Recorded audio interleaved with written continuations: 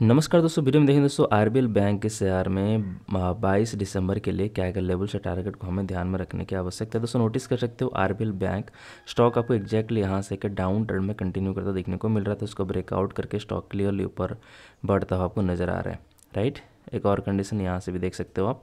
तो साथ साथ दोस्तों, अगर नोटिस करेंगे स्टॉक में जो हमारा टारगेट था यहाँ पे 269 है दो सौ सत्तर का स्टॉक ऑलरेडी उस टारगेट को यहाँ पे हिट करके ऊपर बढ़ता आपको दिखाई दे रहा है। अगर इसको हम देखेंगे स्टॉक यहाँ से पहले तो हमने देखा कि स्टॉक ने ब्रेकआउट कर दिया, उस लेवल को दोबारा नीचे आ रहा तो यहाँ पे सपोर्ट लेके ऊपर जाना चाहिए।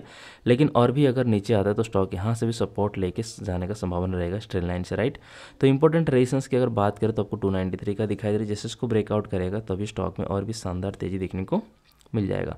अगर दोस्तों बात करेंगे आरबीएल बैंक के शेयर में नियरेस्ट के लेवल की तो आपको दिखाई दे रही है, ये रहेगा रेजिस्टेंस लाइन जो हमने ऑलरेडी ड्रॉ करके रखा है। सपोर्ट लाइन रहेगा 262 और एक रहेगा रेजिस्टेंस लाइन जो कि रहेगा 282.60 तो दोस्तों वीडियो को लाइक करें, चैनल को सब्सक्राइब करके बेलाइकन ज़रूर दबा लीजिए। धन्यवाद।